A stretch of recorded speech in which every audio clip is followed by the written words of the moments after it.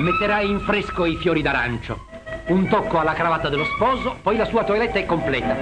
Da un fontile di Miami la sposa con le damigelle si slancia al gran passo. E mai sposo è giunto con più lieta furia. Mentre il pastore celebra, il mare provvede alle aspersioni. Non dica la giovane coppia di aver sentito male la lettura degli obblighi nuziali. Il pastore ha una voce stentorea che domina i flutti. Per scambiarsi la fede occorre da parte dei coniugi un sicuro equilibrio. E questi ne danno la prova.